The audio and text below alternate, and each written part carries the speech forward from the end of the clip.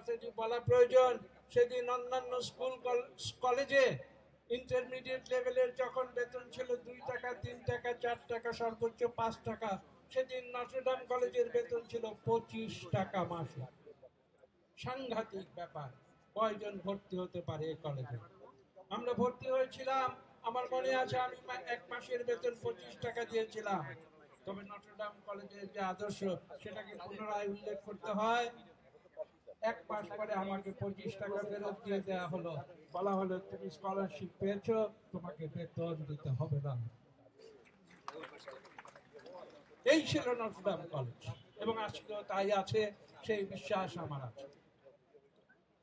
একটু আগে শুনেছেন, উনিশশো তেষট্টি সালে ফিজিক্সের ক্লাসে তখন ফাদার পিসট নবীন যুবক আমেরিকা থেকে এসে এখানে শিক্ষকতা নিয়েছেন। ফাদার পিসট প্রথম ক্লাসের ছাত্র ছিলাম আমি। পদার্থবিদ্যার ল্যাবরেটরিতে ঢুকে দেখলাম এক সুঠাম দেহি অত্যন্ত সুন্দর এক যুবক। তিনি আমেরিকা থেকে এসেছেন, আমাদের ফিজিক্স পড়াবেন। আজ পর্যন্ত আমি তাকে শ্রদ্ধা জানাই, তার কাছ থেকে যতটুকু ফিজিক্স শিখেছি, সেটা সর্বোচ্চ পিএইচডি পর্যায়ে আমি নিয়ে যেতে সক্ষম হয়েছি। আমি তাকে আমার আন্তরিক শ্রদ্ধা জানাই।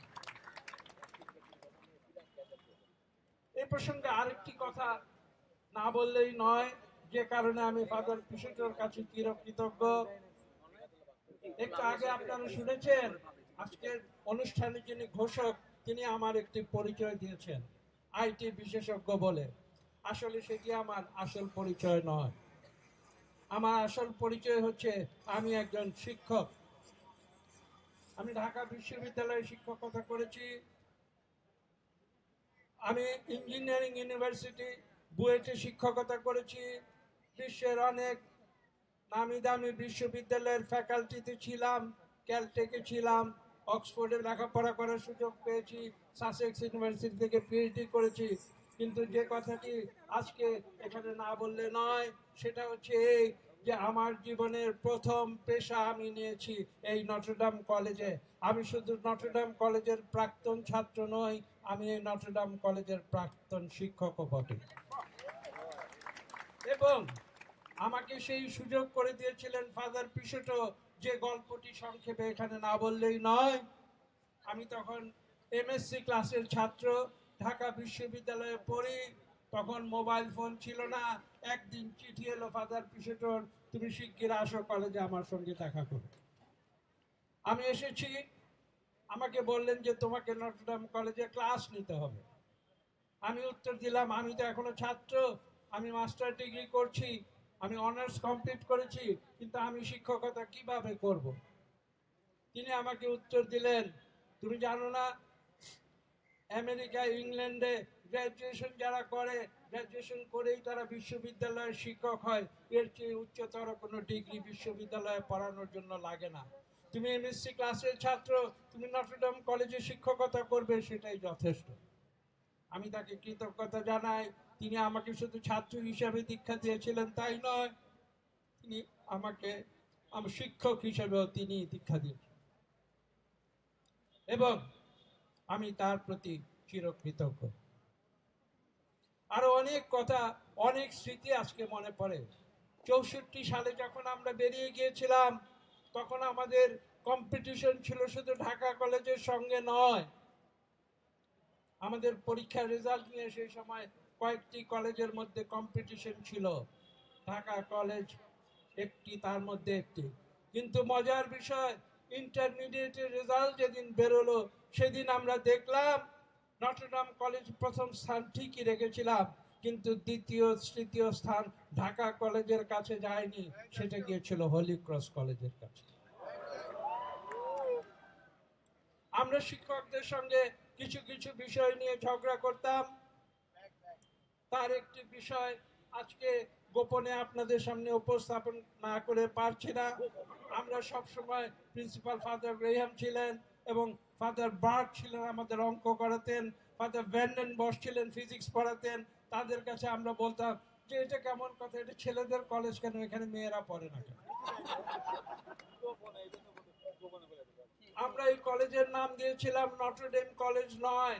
আজকের ছেলেরা শুনলে অবাক হয়ে যাবে। আমরা এই কলেজের নাম দিয়েছিলাম নট এ ডেম কলেজ এই কলেজে কোনো মেয়ে নাই।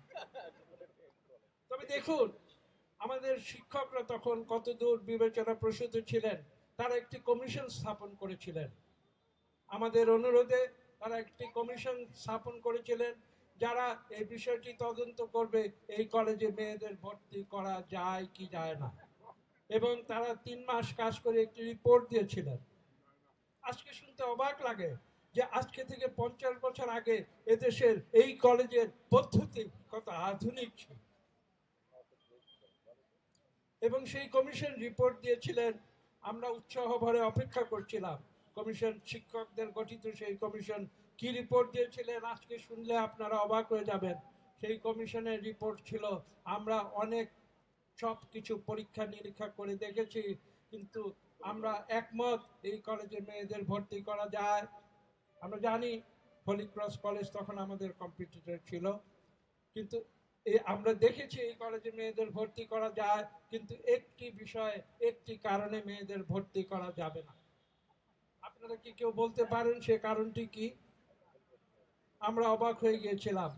আমরা তখন আমেরিকা সম্বন্ধে অনেক শুনেছি বিলেত সম্বন্ধে শুনেছি, আমরা কিন্তু সেসব দেশে যাইনি। তারা সেই রিপোর্টে শেষে লিখেছিলেন কারণটি হচ্ছে এই যে এই কলেজের বিল্ডিং এবং ফ্যাসিলিটিস যেভাবে তৈরি করা হয়েছে, এখানে মেয়েদের জন্য আলাদা কোনো ফ্যাসিলিটিস তৈরি করা হয়নি। সেই কারণে এই কলেজে মেয়েদের ভর্তি করা হয় অবাক আমি জানি না সব ইতিহাস আজকে বলতে পারব কিনা। আমার বক্তব্য শেষ করে দিচ্ছি। আর অনেক বক্তা রয়েছেন, তাদের কথা শুনবেন। আজকে সারাদিন আলোচনা হবে, আমরা স্মৃতিচারণ করব। পুরনো কথা মনে পড়বে ভবিষ্যতের কথা বিকেলে আলোচনা। আমি শেষ করছি এই বলে যে আমরা যে কথাটি বলেছি আমাদের সেই তীব্র কম্পিটিশন আমাদের একটি প্রতিজ্ঞা সবসময় ছিল যে ইন্টারমিডিয়েট পরীক্ষার রেজাল্ট সব সর্বোচ্চ রেজাল্ট আমরা এই নটরডাম কলেজ থেকে ধরে রাখব। চৌষট্টি সালে আমরা সেটা করেছিলাম সেই গল্পটি একটু আগে বলেছি। তেষট্টি সালে যাদের নাম উল্লেখ করে, না করে পারছি না, এখানে ছিলেন মাহবুব হোসেন খান, এখানে ছিলেন মুনিবুর রহমান চৌধুরী, এখানে ছিলেন ডক্টর সৈয়দ তারেক আলী এবং আরও অনেকে। এই কলেজের সর্বোচ্চ স্থান অধিকার করে বছরের পর বছর এই কলেজের সুনাম সর্বোচ্চ করে তারা রেখেছিলেন। আজকেও আমি বিশ্বাস করি, আমি জানি চৌষট্টি সালের পরে সেই ঐতিহ্য আমরা অনেক বছর ধরে রাখতে পারিনি। তার প্রায় দশ বা বারো বছর পরে আমরা আরেকবার এই কলেজ থেকে সর্বোচ্চ স্থান অধিকার করেছিলাম। আজকে শিক্ষা ব্যবস্থার পরিবর্তন হয়েছে। আজকে হয়তো সেই রীতিনীতি নাই কে সর্বোচ্চ পদ পরীক্ষায় কে সবচেয়ে ভালো করল, সেটা হয়তো আজকে আর চিহ্নিত করা হয় না। কিন্তু সেদিনে সেই নটরডাম কলেজ চিহ্নিত হতো। একটি ফিচার দিয়ে, একটি কোয়ালিটি দিয়ে, একটি ক্রাইটেরিয়া দিয়ে সেটা ছিল এই যে ইন্টারমিডিয়েট পরীক্ষায় প্রথম স্থান সবসময় নটরডাম কলেজই দখল করবে। সবাইকে ধন্যবাদ।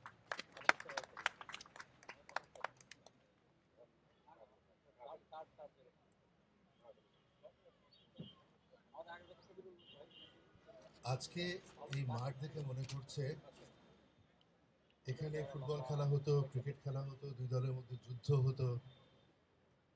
ইস, আবার যদি খেলতে পারতাম, বয়সটা চলে গেছে কোথায়?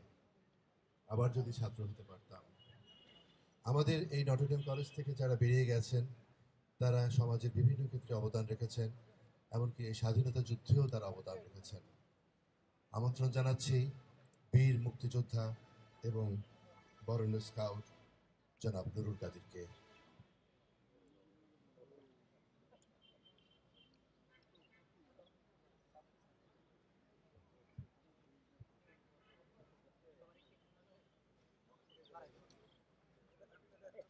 আমার এই বুকে যে সমস্ত পদক দিচ্ছেন, এই পদকগুলো পেয়েছি আমি উনিশশো একাত্তর সালে। স্বাধীনতা যুদ্ধের সময় আমাদের যে গভর্নমেন্ট ছিল, মুজিবনগর সরকার, আমি সেই সরকারের ভ্রাম্যমান রাষ্ট্রদূত ছিলাম। ভারতীয় গভর্নমেন্ট আমাকেই একমাত্র ডিপ্লোম্যাটিক পাসপোর্ট দিয়েছিলেন ইন্দিরা গান্ধী। সেই পাসপোর্ট নিয়ে আমি পৃথিবী প্রায় ঘুরেছি। এবং সমস্ত পৃথিবী থেকে, বিভিন্ন দেশ থেকে আমি স্বাধীনতার সময় স্বীকৃতি আদায় করেছিলাম। এবং স্বীকৃতি আদায় করার ফলেই আমরা যুদ্ধ জয় করি আর না করি স্বাধীন হয়ে গেছিলাম। এবং এটা এই স্বীকৃতি করার জন্যেই। এইসব যে দেখছেন সমস্ত মেডেল বলগুলো, এগুলো এক একটা দেশের সম্মান। যে দেশে গিয়েছি, সেই দেশের স্বীকৃতি পাওয়ার পর সেই দেশের প্রেসিডেন্ট বা রাজা বা রানী, তখন অনেকের দেশে রাজা রানী ছিলেন। তারা আমাকে এই একটা করে মেডেল সেই দেশের সম্মান আমার এই এই কোটেই লাগিয়ে দিয়েছিলেন। সেইটা আমি আর কোটটা চেঞ্জ করিনি। সেই কোটটা আমি এখনও ধরে রেখেছি। আমি যখন ফিফটি সেভেনে আমি পাকিস্তানের শ্রেষ্ঠ স্কাউট হয়েছিলাম, তারপরে আমি লন্ডনে গেছিলাম বিশ্ব স্কাউট জাম্বুরিতে যোগদান করার জন্যে। সেখানে যে পঁয়ত্রিশ হাজার ছেলে মেয়ে স্কাউট এবং গার্ল গাইডের মধ্যে আমি শ্রেষ্ঠ স্কাউট হয়েছিলাম। এবং তারপরে উনিশশো সাতান্ন সালে যেদিন শেষ হলো স্কাউট জাম্বুরি সেদিন আমাকে রানী এলিজাবেথের সঙ্গে পাশাপাশি চেয়ারে বসার সুযোগ দেওয়া হলো। আমাকে শিক্ষা দেওয়া হলো কীভাবে রানীর হাত ধরতে হবে কীভাবে হাতে চুমু খেতে হবে কীভাবে আমি যেন হাতে টিপ- না ধরি, ইত্যাদি যাই হোক, আমাকে সেই ট্রেনিং দেওয়ার পরে আমি উচ্চ সেই স্টেজে উঠলাম। ওঠার পরে হাতের রানীর হাতে আমি চুমু খেলাম, হাত ধরে, এবং তারপরে অনেক কিছু হলো। কিন্তু সবচেয়ে অবাক কাণ্ড হলো, আমি যখন স্টেজ থেকে নামলাম, আমি স্টেজ থেকে নামার পরে বোধহয় কয়েক লক্ষ ছেলে মেয়ে আমার হাতে মেয়ে চুমু খেয়েছেন। কারণ হচ্ছে কি, যে আমি রানীর হাত ধরেছিলি তখন কিন্তু রানী কিন্তু ইয়াং ছিলেন, এখন থেকে বহু বছর আগে। আমি রানীর হাত ধরলাম, কেমন লাগল আমার রানীর হাতটা, ইত্যাদি ইত্যাদি। এই কোশ্চেন করে আমার হাতে সবাই চুমু খেয়েছিলেন। খালি সেইখানে নয় আমি সেইখানে বেস্ট স্কাউট হওয়ার ফলে আমি তিরিশটা দেশ ঘোরার সুযোগ পেয়েছিলাম। এবং তিরিশটা দেশ যখন ঘুরেছিলাম তারাও টেলিভিশন দেখেছিল যে আমি হাতে চুমু খাচ্ছি। তারাও আমার কাছ থেকে হাতে চুমু খেয়েছিলেন সেই সব দেশের মেয়েরা, যে আমি রানার হাত, রানীর হাতে চুমু খেয়েছি। যাই হোক, সেখানকার আমি প্রায় তিন মাস আর কি পরে মানে আমাদের লন্ডন কলেজের মোতাবেক তিন মাস ক্লাস হয়ে যাওয়ার পরে আমি ঢাকায় ফিরলাম লন্ডন থেকে। পৃথিবীর ঘুরে ঘুরে ঘুরে ঘুরে, তিন মাস পরে। তখন আমি, আমার সেই ড্রেস পরে ড্রেস মানে বুঝেন, জানি না ঠিক আমাদের, আমার এই আজকে যে আপনারা ইয়ে পেয়েছেন, ওই যে ম্যাগাজিন পেয়েছেন, তাতে আমার একটা ছবি আছে, আমার লেখাটার বই ইয়ে আছে, ছবি দেখছেন, যে হাফ প্যান্ট মানে চামড়ার প্যান্ট এবং সে আমার ড্রেস পরার ছবি। সেই ড্রেস পরে, সেই চামড়ার প্যান্ট পরে, হাফ প্যান্ট গিয়ে প্রায় সিকি প্যান্ট ধরেন। পরে আমি নটন কলেজে এলাম তখনকার প্রিন্সিপাল ছিলেন ফাদার মাটির সাথে দেখা করলাম। তিন মাস হয়ে গেছে তা আমাকে দেখে ও প্রিন্সিপাল ভেবেছিলেন আমি কোথায় বিদেশ থেকে বেড়াতে এসেছি। তো আমাকে দেখে তারপর উনি আমাকে গল্প করতে শুরু করলেন।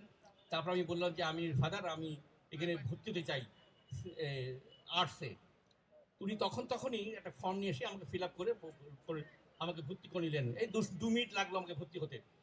তারপরে আমাকে নিয়ে গেলেন তিনতলার রুমে সেখানে তাৎক্ষণিকভাবে তিনি সমস্ত কলেজের প্রিন্সিপাল ফাদারদের সবাইকে, সব ছাত্র সবাইকে ডাক দিলেন এবং আমাকে দিয়ে বক্তৃতা, আমি বক্তৃতা দিলাম। কিন্তু একটা জিনিস যেটা আমি করলাম সেটা অবাক কাণ্ড। আমি যখন ঘুরছিলাম সমস্ত পৃথিবী, তখন অনেক বছর আগে কথা এটা কিন্তু, একটা ছোট্ট একটা ট্রানজিস্টার কিনেছিলাম আমি। সেটা পকেটে নিয়ে ঘুরলে পরে গান শোনা যেত।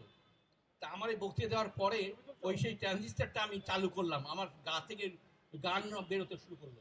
লোকে ভাবে তখন কিন্তু ট্রানজিস্টার বাংলাদেশে কেউ দেখেনি। ভেবেছে বোধহয় আমি কোথায় জাদু জানি যে আমার গা আমার গা থেকে গান গান বেরোচ্ছে। যখন জিনিসটা দেখালাম, তারপরে সমস্ত ছাত্ররা এমন তালে দিছিলেন যে সেই তালি আমি এখনও শুনতে পাই। যাই হোক, সেই প্রিন্সি সেখানে আমি আমি এই কলেজে চার বছর পড়েছি, অত্যন্ত সম্মানের সঙ্গে পড়েছি এবং তারপরে আমি পৃথিবীর আরও ঘোরার সুযোগ পেয়েছি, সামনে যুদ্ধের সময় ঘোরার সুযোগ পেয়েছি আরও বহু দেশের সুযোগ পেয়েছি আল্লাহ তালার রহমত। এবং এই সমস্ত কারণ হচ্ছে এই নরডাম কলেজ। নরডাম কলেজে আমি যে সম্মান পেয়েছি যে আমি যেভাবে ছিলাম সেটা আমার কাছে এখন স্বপ্ন মনে হয়। তো আপনি আমাকে কিছু বলার সুযোগ দিয়েছেন। অনেক ধন্যবাদ। আমি আমার লম্বা করতে চাই না। একটা কথা না বললেই নয় যে আমাদের ছাত্র যারা আছেন তারা যারা আমার শিক্ষক আছে সবাইকে বলছি আমি এই নরডাম কলেজে যখন ছিলাম তখন যতগুলো অনুষ্ঠান হয়েছে নরডাম কলেজে চার বছরে, প্রত্যেকটাতেই আমি চেয়ারম্যান ছিলাম। আপনারা যাতে আপনারা দেখেন বোধহয়, ফাদার মার্টিনের নামে একটা প্লাক লাগানো আছে, ওই যে নর্টন কলেজে প্রিন্সিপাল গুনে ঢোকার মুখে একটা একটা শ্বেত পাথরের একটা ইয়ে প্লাক সেটা আমি লাগিয়েছিলাম। এবং এই এবং নর্ডাম কলেজে যতগুলো অনুষ্ঠান হয়েছে, ফাদার মার্টিন মৃত্যুর পরে যতগুলো হয়েছে, তারপরে ফাদার গ্রাহামের পরে যতগুলো অনুষ্ঠান হয়েছে, তারপরে ইয়ে যখন তখন ইয়ে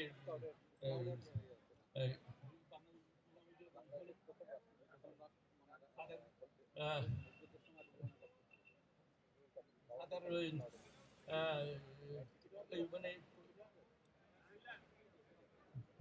হ্যাঁ? বাঙালি প্রথম আর কি যিনি এখানে সে ই হলেন ওই যে ফাদার ফাদার গাঙ্গুলি, সেই সময়েও আমি যত অনুষ্ঠান ছিল, আমি সেগুলো পরি- পরিচালনা করেছিলাম। যাই হোক, আমি অত্যন্ত গর্বিত যে আমি এই কলেজে পড়েছি। আমি এই কলেজের নামে বহু কাজ করেছি যা আমার, আপনার কল্পনাই করতে পারবেন না। আপনাদের সবাইকে অনেক ধন্যবাদ, স্যার।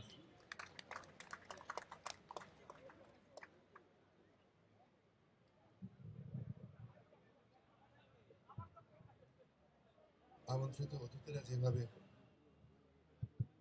আমন্ত্রিত অতিথিরা বিভিন্নভাবে স্মরণ করে দিচ্ছেন তাদের সময়ে কীভাবে মহিলারা কীভাবে আপ্লুত হতেন নটরডেমেন্টের প্রতি। মনে আছে আমাদের যখন ক্লাসরুমটা ছিল দোতলায়, সেকেন্ডারি উঠে, ওই পাশে আরামবাগের কিছু বাড়িঘর ছিল। সেখানে কিছু আমাদের সময়ের সমসাময়িক কিছু মহিলারা ছিলেন। যদি আজকের এই অনুষ্ঠানে কেউ থেকে থাকেন, অত্যন্ত খুশি হব যদি তাদের সাথে পরিচিত হতে পারি। এবারে আমন্ত্রণ জানাচ্ছি, শুভেচ্ছা বক্তব্য রাখার জন্য প্রভিন্সিয়াল পবিত্র পুরুষ সংঘ ফাদার জেমস ক্রুশ সিএসসি অনেক একদম দেখেন আটকে গেছে যে দাঁড়ায় গেছে ছবির মতো দাঁড়ায় গেছে তো তুই speed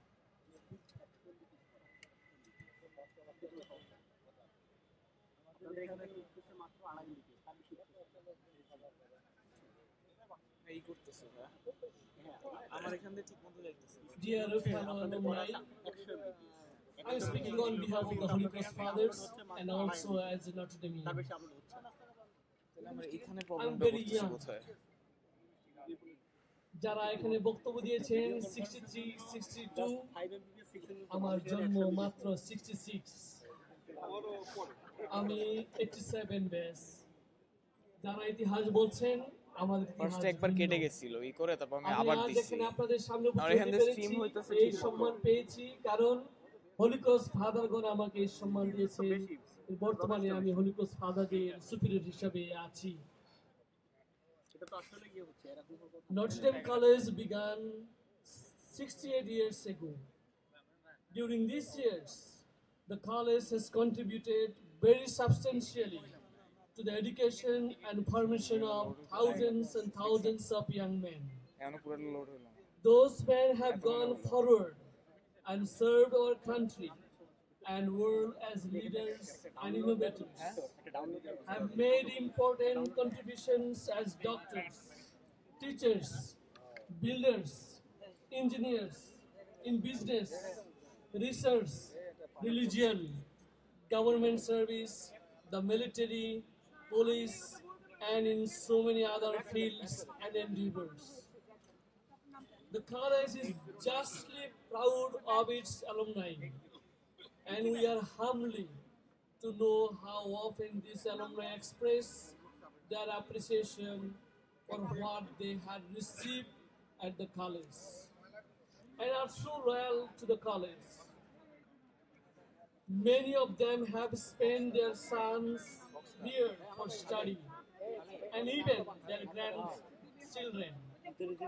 Many have built lasting friendship, and through many years have kept in touch with classmates. Alumni mem- remember their teachers and those who administered the college. We, the members of the congregation of Holy Cross Fathers, are so proud to hear of their many remembrance and respect for Father Graham, for the ছাত্রীরা আসবে হোলি ক্রসের ছাত্রীরা আসবে father বিশদ বলেছেন আমি একইভাবে আপনাদের অনেক মতামত এবং আইডিয়া যারা আপনারা আমাদের ইউনিভার্সিটি নতুন ইউনিভার্সিটির পক্ষে দিতে চান আপনারা অবশ্যই আমাদের সহযোগিতা করবেন। আপনার সম্প্রদায়ের পক্ষে এই প্রত্যাশা কামনা করি। আপনারা যারা এখনও পর্যন্ত আরেকটি গুড নিউজ সুসংবাদ শুনেননি, যে আমরা এই নটিনএম কলেজের যে ভ্যালুসগুলো রয়েছে, মূল্যবোধগুলো রয়েছে, এই মূল্যবোধের উপরে ভিত্তি করেই আমরা নটিনএম কলেজ মাইমিসিং নামে আরেকটি নটিনএম কলেজ প্রতিষ্ঠা করেছি। মাইমিসিং শহরে বাইপাসের ঠিক পাশেই হলিক্রস ফাদারগণ এই দুটো উদ্যোগ নিয়েছেন। বর্তমানে সেখানেও প্রায় এক হাজারের বেশি ছাত্র রয়েছে। সেখানেও ছাত্রী নেই। এই নটিনএম কলেজের মতোই অবস্থা। আপনাদের সমর্থন, আপনাদের সহযোগিতা, আপনাদের পরামর্শ সব কিছুর জন্য আমরা ধন্যবাদ জানাই এবং ভবিষ্যতে আরও প্রত্যাশা করি Notre-Dame College is very special and its alumni are also very special. This alumni gathering has much to celebrate and we all have much to thankful for at this joyful family gathering. Thank you for coming. Thank you for joining this celebration. Thank you. Thank you so much.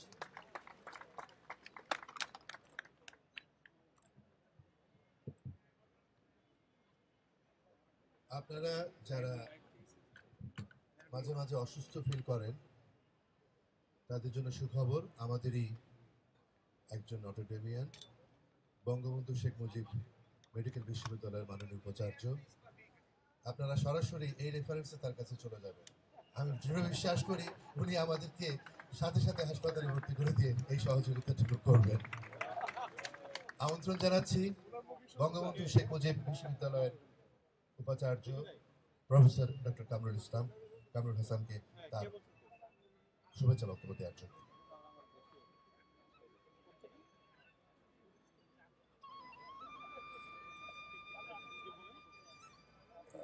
শুভ সকাল। মহান সৃষ্টিকর্তার সকল শান্তি আপনাদের উপর নিরন্তর বর্ষিত হোক। কেমন লাগছে? মায়ের কোলে ফিরলে তো সবারই ভালো লাগে না? মায়ের মায়ের পেটে থাকি আমরা প্রায় দশ মাস আর এইখানে ছিলাম আমরা দুই বছর। মায়ের চাইতে মা সাথে কারও তুলনা হয় না কিন্তু এটিও আমাদের একটি মা। আমি প্রথমেই আমাদের, আমরা সবাই নটোডিএমএন আমার একটা, আমাদের একটাই পরিচয়, এখানে কোনো ভিন্ন পরিচয় এখানে নেই। আমি প্রথমেই আমাদের বর্তমান নটম কলেজের সম্মানিত অধ্যক্ষ অধ্যক্ষ হেমন্তের প্রতিটি শব্দের সাথে একাত্মতা ঘোষণা করছি। বাংলাদেশের এই ভূখণ্ডে উনপঞ্চাশ থেকে শুরু করে আজ অবধি অনেক চড়াই উতরাই গেছে। অনেক ঝড় ঝঞ্ঝা গেছে। কিন্তু বাংলাদেশে একটি শিক্ষা প্রতিষ্ঠান একটি শিক্ষা প্রতিষ্ঠান তার আপন মহিমায় আপন আদর্শে আজ অবধি একই স্ট্যান্ডার্ড নিয়ে আছে। সেটি কোনটি? নডম কলেজ বাংলাদেশে একটি মাত্র শিক্ষা প্রতিষ্ঠান তারা আপন আদর্শ আপন মহিমা নিয়ে একইভাবে তারা এইখানে একই আদর্শে, একইভাবে, একই ধারায় চলে আসছে। এটি একটি সাংঘাতিক গৌরবের বিষয়। অনেক চলাচল হয়েছে। এই প্রতিষ্ঠানের আদর্শ জন্ম থেকে শুরু করে আজ অব্দি যারা রেখেছে বিশেষ করে এখন যারা অধ্যক্ষ আছেন, শিক্ষক আছেন এবং ছাত্র আছেন, তাদের আমরা ধন্যবাদ জানাই, শুভেচ্ছা জানাই এবং জোরে একটা করতালে দিয়ে অভিনন্দন জানাই। গরম লাগছে না? গরম লাগছে। আমি খুব, আমি গলাটা ভালো না, তাই পানি নিয়ে এসেছি, খুব লম্বা বক্তৃতা দেবো না, নিশ্চিত থাকেন আমি আমাদের একটা ভিন্ন অভিজ্ঞতা আছে। আমরা এই নটমগুলির ছাত্র যারা, স্বাধীনতার পরে প্রথম ব্যাচ সদ্য স্বাধীন দেশ নানান উত্তেজনা, নানান বিষয় আছে, স্বাধীনতার স্বাদ আছে, সেই সময় আমরা প্রথম সেখানে আমি আমরা বলি আমরা বাংলাদেশের ফার্স্ট জেনারেশন তো আমি টাঙ্গাইল শহরে স্কুলের বিন্দু স্কুল থেকে পাশ করেছি। ওটি একটি বয়েজ স্কুল ছিল। তো আমাদের মফস্বলের ঢাকা কলেজের একটি ইমেজ ছিল। যে ঢাকা কলেজে পাশ করলে ঢাকা কলেজে ভর্তি হব। তা আমি ঢাকা এসে ভর্তি পরীক্ষার জন্য আমাদের অভিভাবক যারা তাদের সাথে আলাপ আলোচনা করে আমার বড় ভাই অনেক সবাই চিনবেন, নাম বলছি না। উনি বললেন, তুমি নর্ডম কলেজে অ্যাডমিশন টেস্ট দাও। আমি নর্ডম কলেজের তখন সত্যি কথা ভালো ধারণা ছিল না। আমি এখানে ঢুকে এতটাই আকৃষ্ট, অভিভূত হলাম। আমি অ্যাডমিশন টেস্ট দিলাম এবং হলো। কিন্তু আমি তখন ঢাকা কলেজের মোহ ছাড়তে পারি নাই। রেসিডেন্সিয়াল কলেজের প্রতি একটা মোহ আমাদের ছিল। কিন্তু আলটিমেটলি তিনটি কলেজের চান্স পেয়েও আমি আজকে নিজেকে সৌভাগ্যবান মনে করি যে আমি নডম কলেজে ভর্তি হয়েছিলাম নডম কলেজ ছাত্র। যা বলছিলাম, আমাদের তো বয়েজ স্কুল এখানে এসেও দেখলাম বয়েজ কলেজ এবং এখন তো কিছু আমাদের মহিলা শিক্ষক দেখি, তখন মহিলা শিক্ষক এবং অন্যদিকে ঢাকা কলেজে এক মহিলা শিক্ষক ছিলেন, ইংরেজির শিক্ষক। ওনার ক্লাসেও আমাদের ছেলেরা যায় ক্লাস করতে, উপচে পড়া ভিড়। ক্লাস করার জন্য না ম্যাডামকে দেখার জন্য। তো যাই হোক, তারপরে আমি ময়মনসিংহ মেডিকেল কলেজে ভর্তি হলাম। ওখানে এক অবস্থা। আমাদের যে ব্যাচ আমাদের প্রিন্সিপাল একদিন এসে বলে আমার মেডিকেল কলেজের, যেটা কি আরবি ব্যাচ নাকি? একটাও মেয়ে নেই। তো এরকম প্রথম যৌবনে আমরা একটু এই সময় এই অবস্থা ছিলাম, যেটা নটম কলেজের মধ্যে আমরা একটা ফিলিংস অনেকেই বলছে, আমি একটু যোগ করলাম। আমার চারটি অভিজ্ঞতা আছে, অনেক অভিজ্ঞতা আছে, চারটি অভিজ্ঞতা বলব, যেটি আমি উনিনব্বই থেকে এইটি নাইন থেকে মেডিকেল শিক্ষকতা করছি। ঢাকা মেডিকেল কলেজে ছিলাম, পরে পিজি হাসপাতালে আসি নাইন টনে তখন থেকে এখানে পিজি হাসপাতাল এবং বঙ্গবন্ধু মেডিকেল বিশ্ববিদ্যালয়ে আছে। ফাদার বেনাস আমাদের সময়কে সবারই মনে আছে, যিনি ওই সময় টেলিভিশনে রবীন্দ্রসঙ্গীত গাইতেন, আমাদের ইংরেজি শিক্ষক ছিলেন। এবং উনি একটা শিক্ষা, আমি যেহেতু শিক্ষকতা করি, কিছু শিক্ষা আমি এখনও বলি যেগুলি বিশেষ করে, সেগুলো আমি একটু বলতে চাই নতুন প্রজন্মের জন্য। উনি একটা আমাদের ইংরেজি ক্লাসে উনি পড়াতে গিয়ে ওই প্রতিটি স্টোরির উপরে একটা ছোট লাইফ স্কেচ থাকতো অথারের। ওটা উনি গুরুত্ব সহকারে পড়াতেন। উনি বলতেন, তুমি যদি মানুষ না চেনো, তার লেখা বুঝবে না। আমাদের কিন্তু এই সংকট আছে। আমরা একটা শুনি, বুঝি, কিন্তু মানুষটাকে বুঝতে চাই না। এটা একটা আমার জীবনে বড় লেসন। একটা মানুষকে হট করে চেনা যায় না, হট করে বোঝা, তাকে জানতে হবে, তাহলে তার লেখা বা তার সব কিছু আমরা বুঝতে পারব। আরেকটি ঘটনা ফিজিক্স ক্লাসে আমার এক বন্ধু আমাকে খুব বিরক্ত করছিল। তখন ফিজিক্স ল্যাবরেটরিতে তো আমি খুব এত বিরক্ত হচ্ছে? আমি চট করে ফাদার পেসোদের রুমে ঢুকে গেছি। তিনি আমাকে হাত ধরলেন। হাত ধরে বাইরে নিয়ে আসলেন। নিয়ে এসে দরজাটা বন্ধ করলেন। বলে যে, এখানে টোকা দিবে। টোকা দিয়ে তারপরে ঢুকবে। তারপরে আমাকে বলল, দাও, টোকা দাও।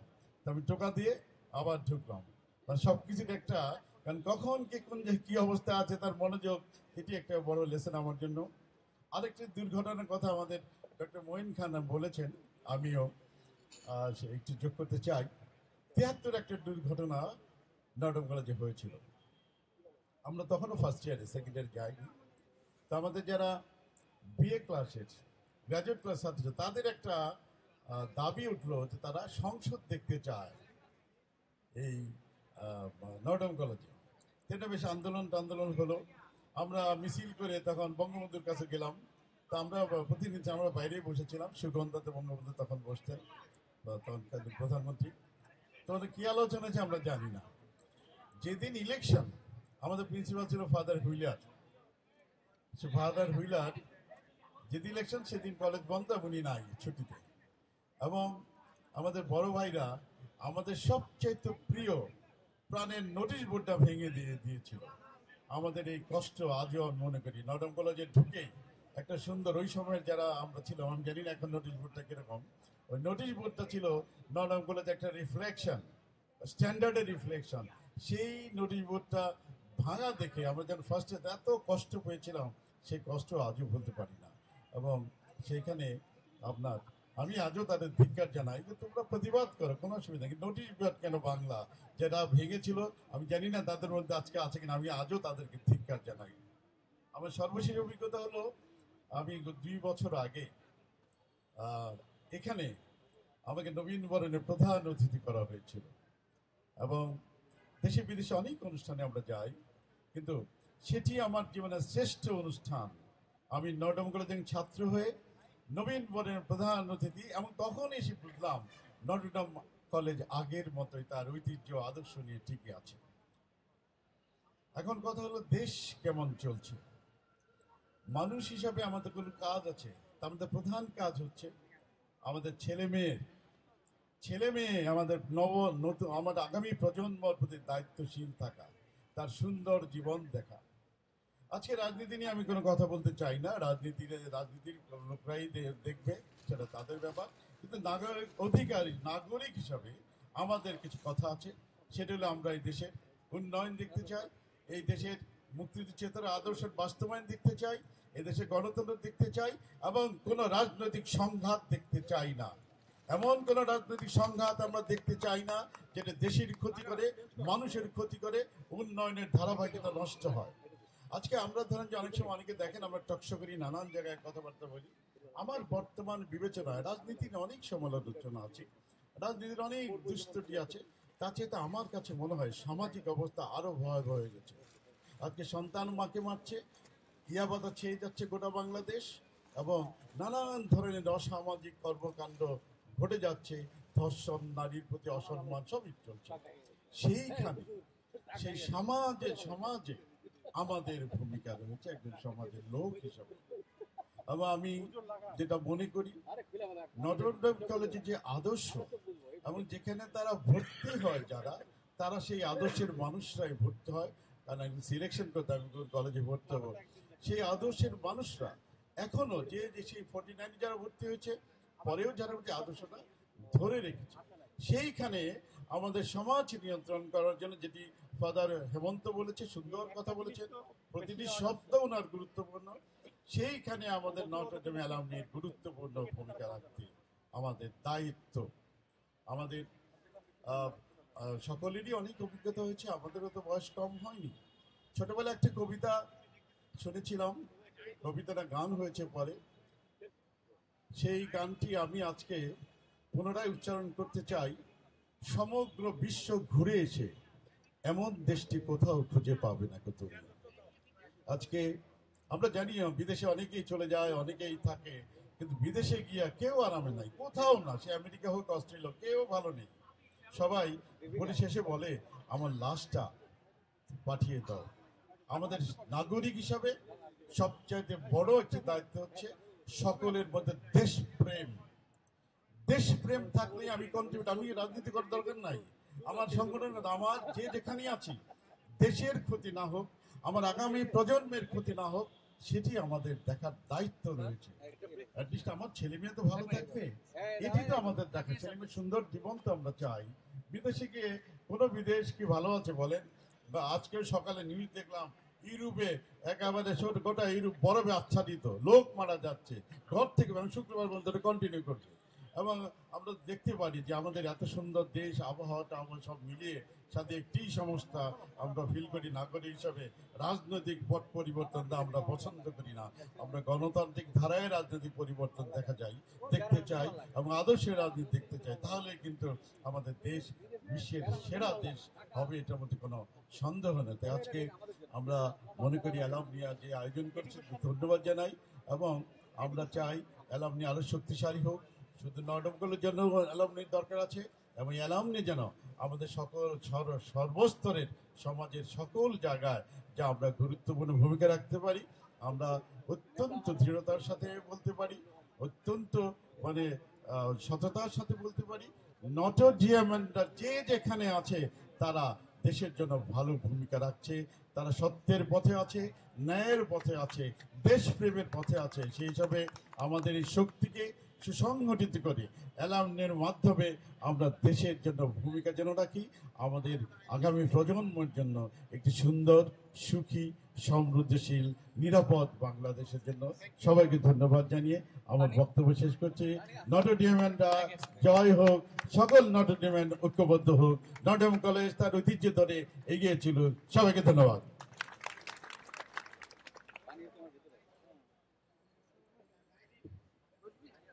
আপনাদের সবার হাতে আজকের অনুষ্ঠানের স্মরণিকা পৌঁছে গেছে। এবার doctor father Shankar Leonard Rozario CSC আহ্বায়ক প্রকাশনা কমিটি ও উপাধ্যক্ষ নটরডেম কলেজকে মঞ্চে এসে স্মরণিকাগুলো আমাদের সম্মানিত অতিথিদের হাতে তুলে দিয়ে মোরক উন্মোচনে সহযোগিতা করার জন্য আমন্ত্রণ জানাচ্ছি এবং কিছু বক্তব্য রাখার জন্য এ ব্যাপারে আমন্ত্রণ জানাচ্ছি।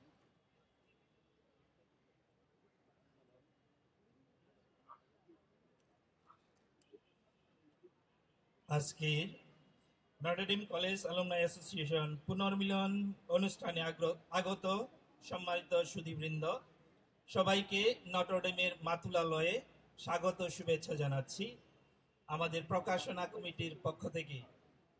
নিতান্তই স্বল্প সময়ের মধ্যে বহু ত্যাগ এবং অনেক তপস্যা করে আপনাদের হাতে যে অলওয়েজ নটরডেমিয়ান স্মরণিক স্মরণিকাটি তুলে দিতে পেরেছি। তার জন্য আপনাদের সবাইকে ধন্যবাদ জানাচ্ছি এবং নিজেদেরকে কৃতার্থ বলে মনে করছি। এই স্মরণ- স্মরণিকাটিতে লেখাগুলো, নিতান্ত মৌলিক, এতে অনেক আবেগ, অনুভূতি, বিশেষ করে নটরডেম, মাতুলালয়ের প্রতি যে আপনাদের ভক্তি, ভালোবাসা এবং স্মৃতি বিজড়িত ছিল বা আছে, তার বহিঃপ্রকাশ ঘটেছে। আপনারা আপনাদের বাণী দিয়ে, প্রবন্ধ, কবিতা এবং স্মৃতিচারণ দিয়ে এই স্মরণিকাটিকে অনেক সমৃদ্ধ করেছেন, এর উন্মেষ ঘটিয়েছেন। আপনাদের সবার প্রতি কৃতজ্ঞতা জানাচ্ছি। এই সম্পাদনা পরিষদে যারা ছিলেন, আমি doctor father Leonard Shankar Rozario, Mohammad Shahidul Hasan Pathan doctor ইসুদুল গামেস advocate Mohammad Nurul Kadir advocate S M Bikash Kallol Mr Brian D Rozario আর্নিশ রিচেল স্টিফেন ডন সরকার সুভাষী সাহা ও আব্দুল রাকিব এতে সহযোগিতায় ছিলেন Nikhilesh Ghosh, A K Nure Mustafa, Ataul Wahid Rupak, Samar Bernard Costa, Apurba Gracias Gonsalves, Johnny Charles কামে জুট কুইয়া রিপন টুডু এবং Mrs Mary Sweety রয় আপনাদের সবাইকে বিশেষ করে যারা পৃষ্ঠপোষকতা করেছেন সহযোগিতা করেছেন এবং আমাদের পাশে দাঁড়িয়েছেন তাদের সবাইকে আন্তরিক কৃতজ্ঞতা জানাই। এই প্রকাশনার জন্য সমস্ত সফলতা আপনাদের এবং সব- সমস্ত ব্যর্থতা আমাদের। Viva Notre Dame viva Notre Damian. Thank you very much আমরা এই মুহূর্তে এর মোরক উন্মোচন করব। আপনাদের হাতে যে স্মরণের তুলে দেওয়া হয়েছে আপনারও এটা হাতে নেবেন। Try to feel Notre Dame thank you very much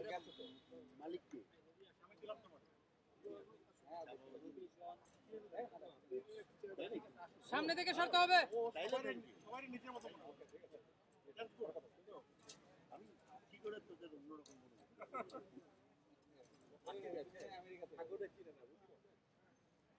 আচ্ছা সাগরও ছেড়ে না তাহলে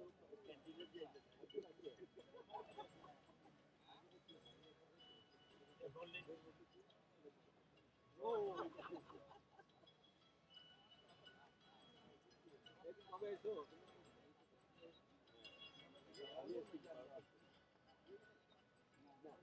নব্বই টাকা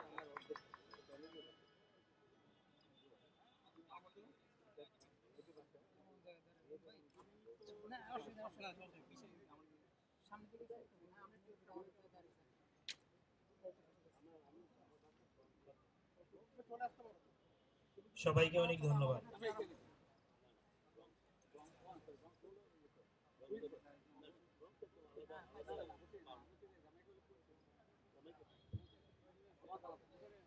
সবার চা খাওয়ার জন্য বোধহয় নিষ্পিস করছে একটু অপেক্ষা করুন আমাদের সর্বশেষ বক্তা আমন্ত্রণ জানাচ্ছি ডক্টর কামাল হোসেন।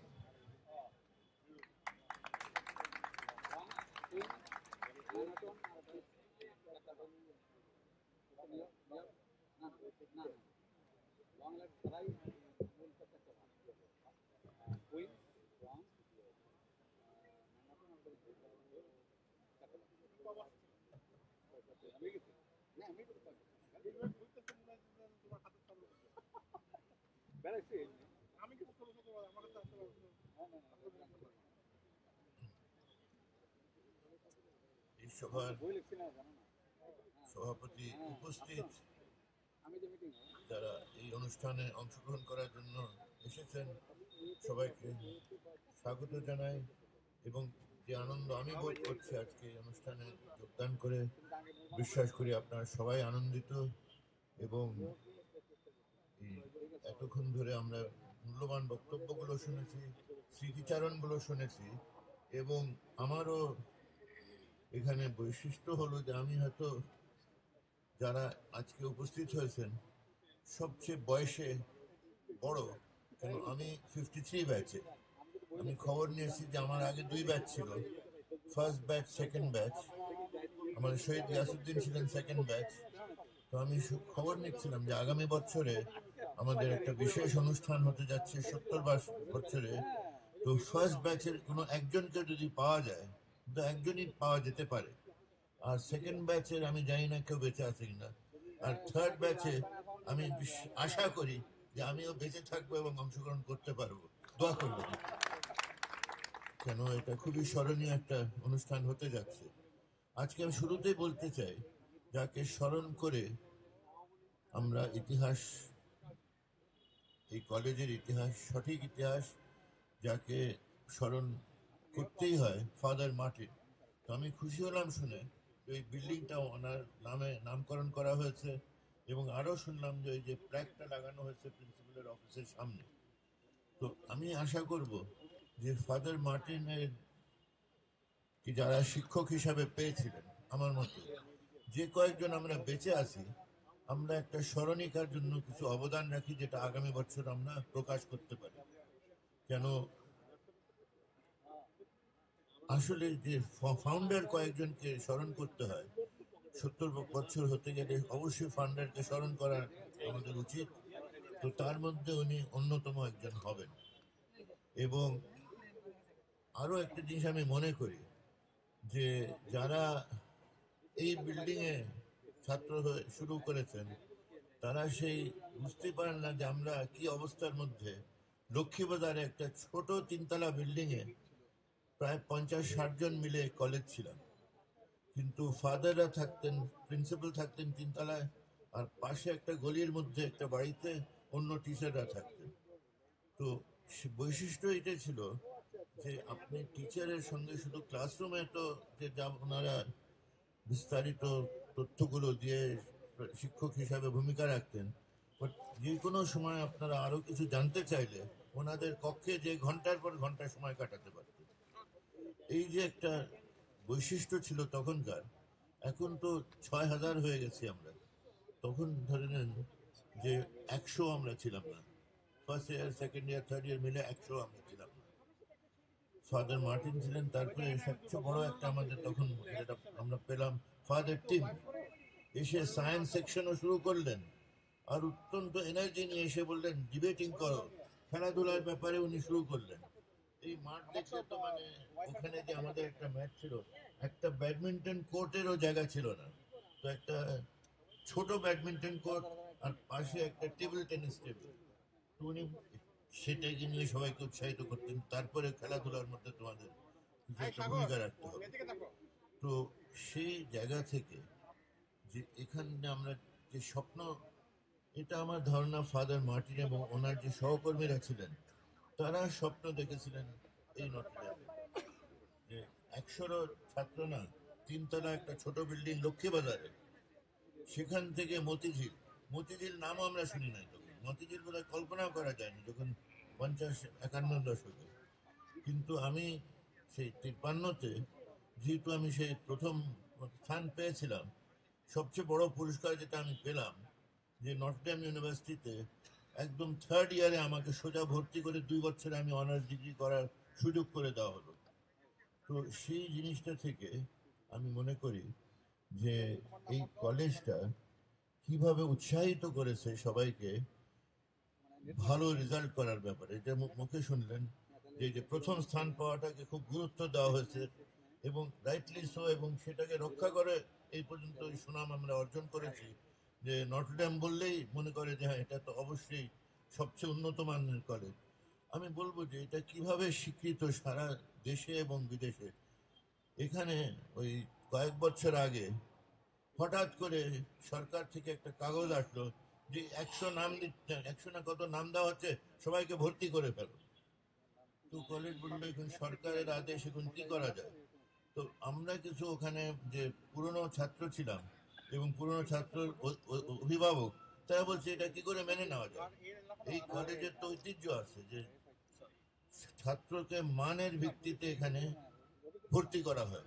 যে কারণে আমরা এই কলেজের যে সবচেয়ে ভালো কলেজ হিসাবে আমরা পরিচিত হয়েছে, যেহেতু আমরা অ্যাডমিশনে একদম স্ট্রিক্টলি যোগ্যতার ভিত্তিতে করি, অন্য কোনো ভিত্তিতে না।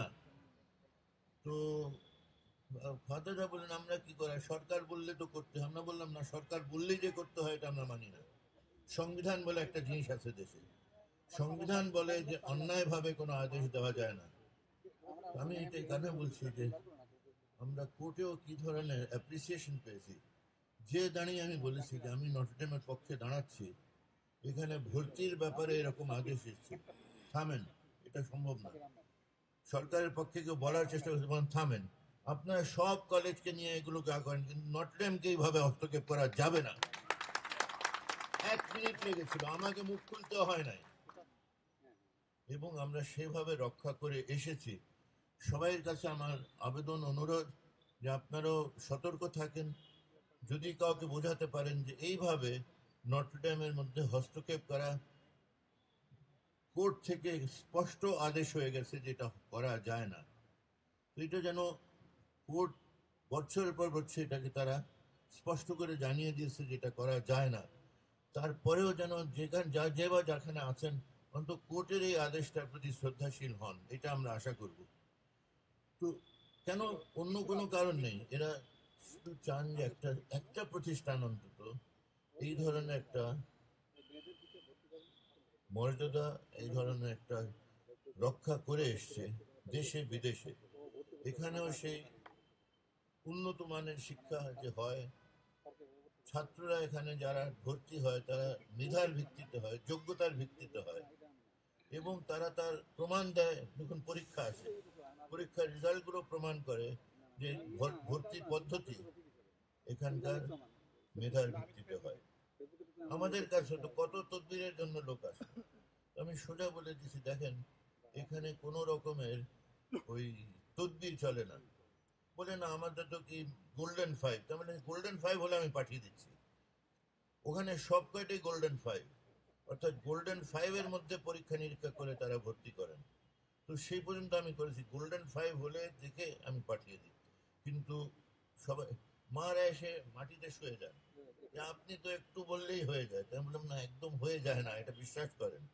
এই তো ফাদার হেমন্তকে বলছি, যে বিশ্বাস করেন যে কত যে চাপ সামলাতে হয়, যে না ভাই ফাদার হেমন্তকে ফোনও করা যাবে না, কিছু বলাও যাবে না, কেন ওখানে তদবির একদম মানে একটু কাজ করে না। গোল্ডেন ফাইভ হলে, দেন অন্য গোল্ডেন ফাইভ আছে, সব কয়টাই ওখানে গোল্ডেন ফাইভ তার মধ্যে থেকে বাছাই হবে যোগ্যতার ভিত্তিতে। তো এই ঐতিহ্যটা রক্ষা করে এসছেন ফাদার হেমন্ত এবং যারা কলেজের যারা দায়িত্বে আছেন তাদেরকে অভিনন্দন জানায় যে আপনারা এটাকে অনড়ভাবে ধরে রেখেছেন। যেখানে তদবির ছাড়া কোনো জায়গায় কিছু হয় না। আমার প্রিন্সিপাল সাহেব কমিউনিকেশন সাহেব তো বুঝতেছেন কথাটা। কোনো জায়গা আছে যেখানে তদবির চলে না? তো এই একটা জায়গা আছে, আমরা গর্ব করে বলতে পারি, তদবির চলে না, চলবে না, চলা উচিত না। এবং দেশে, সমাজে যে কথা চিকিৎসক হিসাবে আমাকে খুব ভালো লাগল যে আমাদের কমরুল ইসলাম সাহেব, ডাক্তার সাহেব, উনি তো চিকিৎসক। উনি চিকিৎসকের চোখে সমাজের যে রোগগুলোকে চিহ্নিত করেছেন সমাজ যে রোগে আজকে আক্রান্ত এটাকে অস- অস্বীকার করতে পারে? এই তখন পত্রিকায় দেখেন যে গোলাগুলি চলছে, মন্ত্রী এইভাবে হাত জোড় করে দাঁড়িয়ে আছে। এটা গুরুতর রোগ আছে কিনা? এখানকার অন্তত নটরডেমের ছাত্রদের মধ্যে এটা কোনোদিন দেখতে হবে না।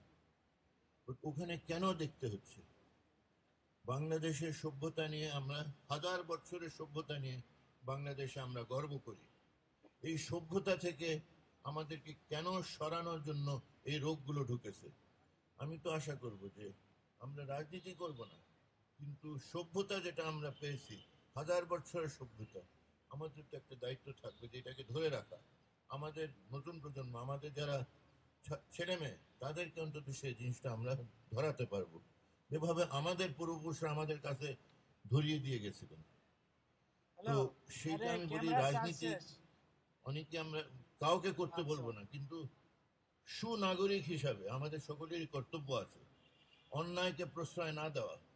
যেখানে অন্যায় দেখছি সেখানে মার্জিত ভাষায় হলেও বলা যে এই অন্যায় থেকে আমাদেরকে রক্ষা করে।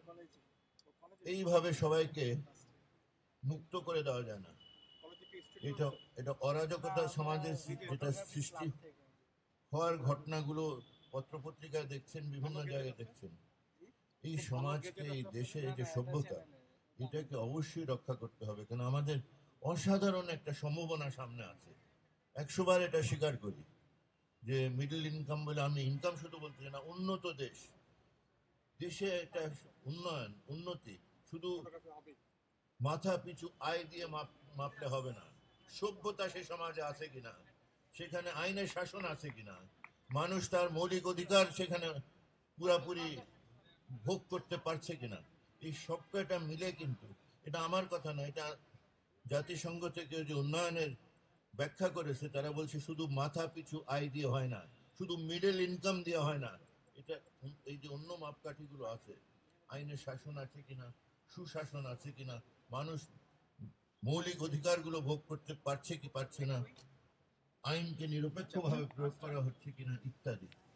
তো সেই উন্নয়ন আমরা অবশ্যই পাবো, দাবি করি। আমাদের সেই ঐতিহ্য আছে, মুক্তিযুদ্ধ হয়েছিল, সেই মূল্যবোধকে সামনে রেখে সেই মুক্তিযুদ্ধে আমরা যেমন জয়ী হয়েছি, এরপরেও গণতন্ত্র যখন কেড়ে নেওয়া হয়েছে, তার গণতন্ত্র পুনঃপ্রতিষ্ঠা প্রতিষ্ঠা করার জন্য আমরা আন্দোলন করে গণতন্ত্রকে পুনঃপ্রতিষ্ঠা করেছি। অর্থাৎ গণতন্ত্র গণতান্ত্রিক মূল্যবোধ সংবিধানের মূল্যবোধকে রক্ষা করার জন্য আমি মনে করি আমাদের সকলেই নাগরিক হিসাবে আমাদের অধিকারও আছে কর্তব্য আছে। কেননা ভবিষ্যতে যে সুন্দর একটা ভবিষ্যতের আমরা সবাই স্বপ্ন দেখছি সেটা আমি মনে করি অবশ্যই এটা আমরা অর্জন করতে পারব। কিন্তু তার জন্য সুশাসন পূর্ব শর্ত সাংবিধানিক শাসন আরেক পূর্ব শর্ত মৌলিক অধিকার সবাই ভোগ করা আরেক পূর্ব শর্ত আইনের শাসন শক্তভাবে এখানে রক্ষা করা এটা একদমই গুরুত্বপূর্ণ একটা পূর্ব শর্ত এগুলো মনে রাখতে হবে। আর শুধু সরকার না এখানে নাগরিকদেরও কর্তব্য আছে ভূমিকা আছে। এই জিনিসগুলো রক্ষা করতে হলে আমরা বলল যে ভাই এই আইনের শাসন মানা হচ্ছে না। এর ব্যাপারে আমরা মুখ খুলবো না। আমাদের দেখেও দেখব না। খামাখা এর মধ্যে কেন নিজে ঝামেলার মধ্যে পড়ব। তো আমি মনে করি নটরডেমের যারা ছাত্রী ছাত্রী আছেন, তাদেরকে এটা বলা হয়েছে। রাজনীতি তো করতে কেউ বলছে না। কিন্তু অন্যায়কে সহ্য করা, এটা অন্যায়। অন্যায়কে দেখে চোখ ঘুরিয়ে বলা যে আমি কিছু দেখি নাই। এটাও কিন্তু একটা সহযোগীর ভূমিকা চলে যাওয়া হয়। তো আমরা অন্যায়, অপরাধের সহযোগীর ভূমিকা নটরডেমিয়ানরা হবে। এটা আমি আশা করি, বিশ্বাস করি আমরা হব না। মার্জিত ভাবে হলেও আমরা কথা বলে বলব যে এইগুলো থেকে সমাজকে রক্ষা করা হোক। আজকে আমি খুব ভালো লেগেছে আমাদের চিকিৎসক হিসাবে যে কথাগুলো ডক্টর কামরুল ইসলাম বলেছেন। ওনার সঙ্গে আমি সুর মিলে বলতে চাই যে এই সমাজকে রক্ষা করার ব্যাপারে আমাদেরও দায়িত্ব আছে, নটরডেম থেকে যে মূল্যবোধ নিয়ে আমরা এখানে যাই সেই মূল্যবোধকে লালন করা সেই মূল্যবোধকে যারা সবাই ধরে তাদের নাগরিক হিসাবে দায়িত্ব পালন করে, সেটা আমাদের একটা কর্তব্য হবে, এটা আমরা মনে রাখি। উজ্জ্বল ভবিষ্যৎ গড়ার ব্যাপারে আমরা সবাই মিলে যেন আমাদের অবদান রাখতে পারি। আমরা এবং এখন থেকে যে ছাত্ররা ঢুকছে, তারাও সেই ঐতিহ্যকে ধরে রাখবে। এই আশা ব্যক্ত করে সবাইকে এই আন্তরিক শুভেচ্ছা জানিয়ে আগামী বছরে যত বেঁচে থেকে আপনাদের মধ্যে আবার আসতে পারি, আশা রেখে আমার বক্তব্য শেষ করছি। বাংলাদেশের দীর্ঘজীব হোক। নটরডেম কলেজ দীর্ঘজীব ধন্যবাদ।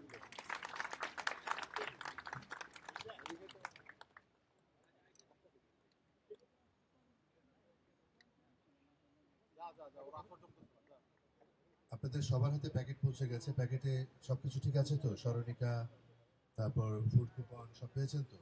বুঝে নিয়েছেন? একটা জিনিস এখনও বুঝিয়ে দেওয়া হয়নি। ধন্যবাদ। এটা না নিয়ে যাবেন না। প্রস্তুতিকালীন অভিজ্ঞতা এবং ধন্যবাদ জ্ঞাপন করতে আসছেন প্রোগ্রাম কমিটির সাব কমিটির আহ্বায়ক সভাপতি, ব্রিগেডিয়ার জেনারেল মোহাম্মদ রেফায়তুল্লাহ।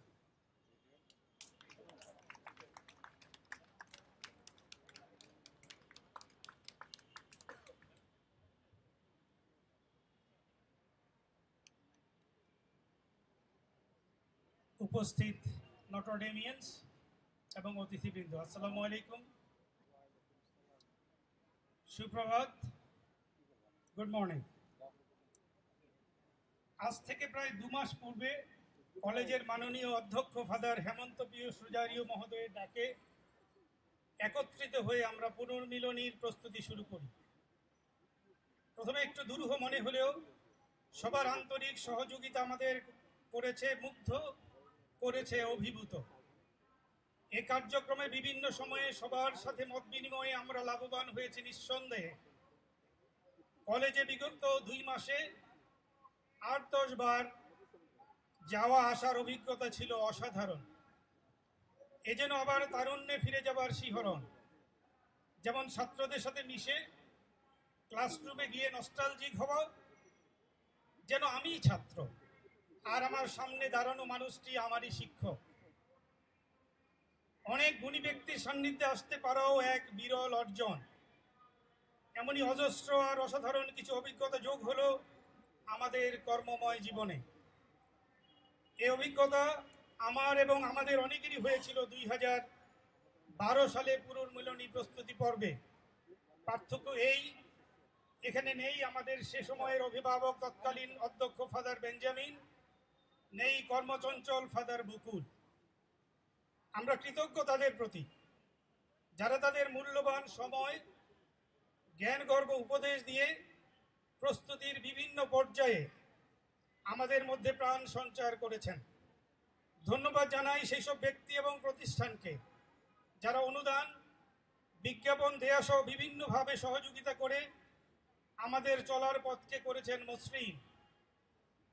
ধন্যবাদ জানাই সেই সল সেই সকল নটরডেম এলামনাই, এলামনাইদের যারা স্বপ্রণোদিত হয়ে বিভিন্ন কমিটিতে থেকে অবিরাম পরিশ্রম করেছেন। ধন্যবাদ সকল কলেজ স্টাফ, স্বেচ্ছাসেবী এবং মিডিয়া কর্মীদের। অগ্রিম ধন্যবাদ জানাই শিল্পী, কলাকুশলীদের। অশেষ ধন্যবাদ ও কৃতজ্ঞতা আমাদের শিক্ষকবৃন্দের প্রতি।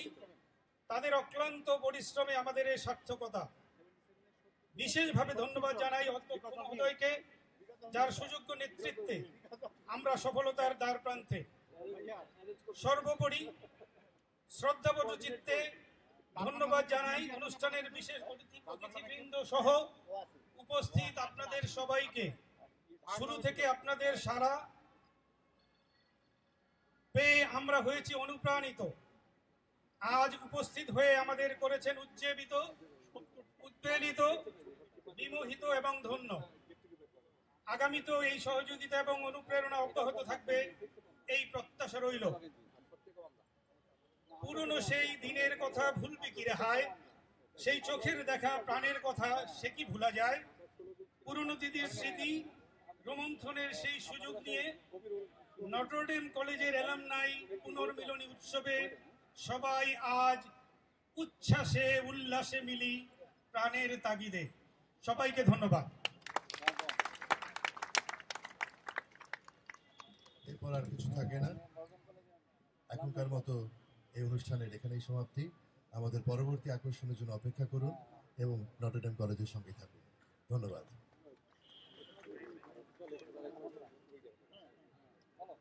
সম্মানিত অ্যালামনাইবৃন্দ আমরা আসলে একটু পিছিয়ে আছি আমাদের অনুষ্ঠানের সূচি অনুযায়ী। আমরা অনুষ্ঠান সূচিতে আবার বলছি সবাইকে, আমাদের উদ্বোধন পর্ব এখানে শেষ। আমরা এখন সবাই স্মৃতিচারণে ফিরে আসব। স্মৃতিচারণের পর্বটি আমাদের মধ্যাহ্ন ভোজ পর্যন্ত চলবে এবং মধ্যাহ্ন ভোজের বিরতি হবে আমাদের একটা থেকে দুটা তিরিশ পর্যন্ত। দুটা তিরিশের পরে আবার আমাদের স্মৃতিচারণ শুরু হবে। এখন আমরা সময়টাকে ব্যবহার করতে যাচ্ছি। সেই জন্যে আমি যারা আগে আমাদের স্মৃতিচারণের নাম দিয়েছেন, তাদেরকে মঞ্চে আহ্বান জানাচ্ছি। আমরা জোরে করতলে দিব। আমাদের একজন এসছেন, নাম দিয়েছেন আগে থেকেই।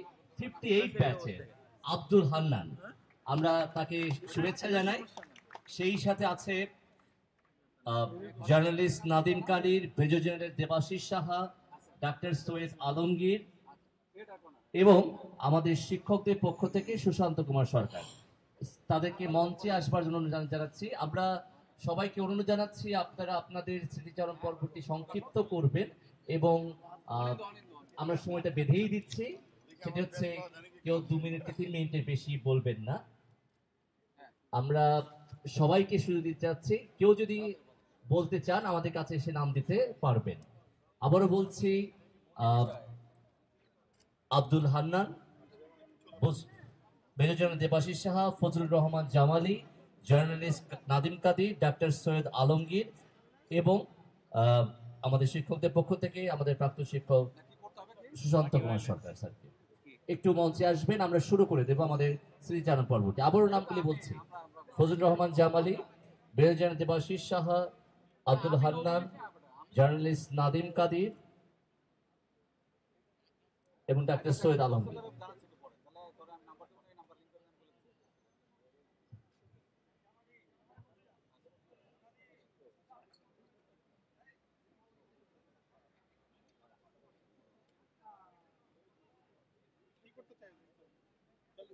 স্যার একটু আসবেন উপরে মঞ্চে আসবেন স্যার। একটু। আবার বলছি Fazlur Rahman Jamali major general Debashis Saha journalist Nadim Kadir doctor Syed Alam. Bazlul Kabir Bhuiyan এবং আব্দুল হান্নান এবং আমাদের শিক্ষকদের পক্ষ থেকে। হ্যাঁ,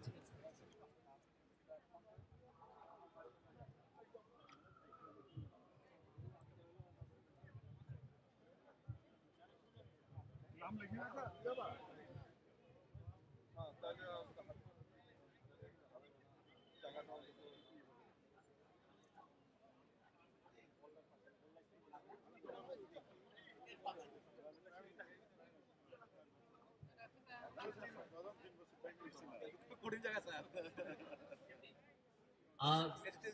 সবাইকে অনুরোধ জানাচ্ছি, একটু বসবো আমরা সবাই যারা নাস্তা করে ফেলেছি, কফি খেয়ে ফেলেছি, আমরা আমাদের শ্রীচরণ পর্বটি শুরু করব।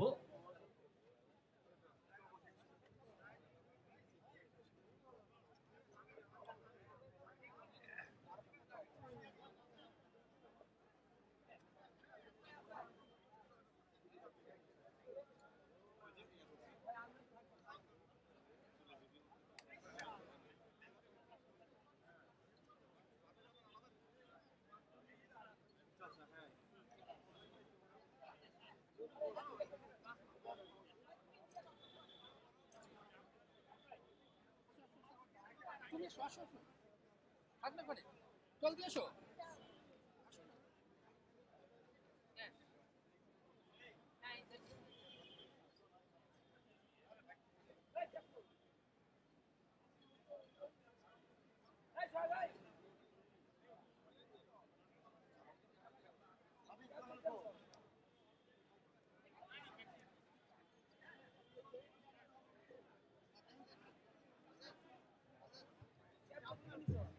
সম্মানিত সুধী আমরা আর কিছুক্ষণের মধ্যেই আমাদের স্মৃতিচারণ পর্বটি শুরু করতে যাচ্ছি। সবাইকে আসন গ্রহণ করার জন্য অনুরোধ করছি। সবাইকে আসন গ্রহণ করার জন্য অনুরোধ করছি। আমাদের এই পর্বে স্মৃতিচারণ পর্বটি শুরু হচ্ছে।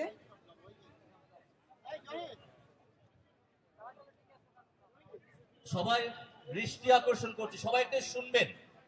সবার দৃষ্টি আকর্ষণ করছি বিভিন্ন ব্যাচে। নিজেদের ব্যাচ আমরা গ্রুপ করেছি, সেই গ্রুপের রেঞ্জটা একটু শুনবেন, তারপর আমি ঘোষণাটা দিব। ফর্টি নাইন থেকে এইটি মানে ফিফটি ওয়ান থেকে এইটি হবে। এইটি ওয়ান থেকে নাইনটি ভালো করে শুনবেন সবাই যারা যে ব্যাচে আছেন। নাইনটি ওয়ান থেকে নাইনটি ফাইভ 96 থেকে 2000 2001 থেকে 2004 2005 থেকে 2010 2011 থেকে 2017 আমরা সাড়ে বারোটার পরে মঞ্চের সামনে এখানে আপনাদের এই সেশনগুলির গ্রুপ ছবি তুলব। আপনারা সবাই যথাসময়ে উপস্থিত থাকবেন। আবারও বলছি ফিফটি ওয়ান থেকে এইটি এইটি ওয়ান থেকে নাইনটি নাইনটি ওয়ান থেকে নাইনটি ফাইভ, নাইনটি সিক্স থেকে two thousand two thousand one থেকে two thousand four two thousand five থেকে two thousand ten two thousand eleven থেকে টু থাউজেন্ড সেভেন্টিন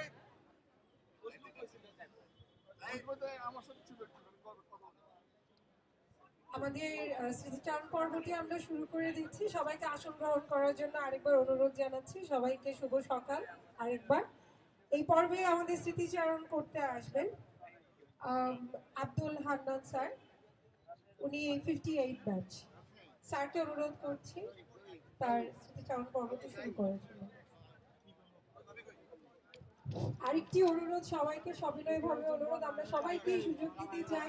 দয়া করে আপনাদের বক্তব্যটি, স্মৃতিচারণটি তিন মিনিটের মধ্যে সীমাবদ্ধ রাখলে আমরা বিশেষভাবে উপকৃত হব। ধন্যবাদ। আজকের এই পুনর্মনি পুনর্মিলনী অনুষ্ঠানের সমবেত এলামনাই বৃন্দ নটন কলেজের শিক্ষকবৃন্দ অন্যান্য অতিথিবৃন্দ। আজকে আমি উনিশশো আটান্ন ব্যাচের আজকে ইউনিভার্সিটিদের মধ্যে ডক্টর কামাল হোসেন পরে আমি সিনিয়র মোস্ট। আরেকটা কথা,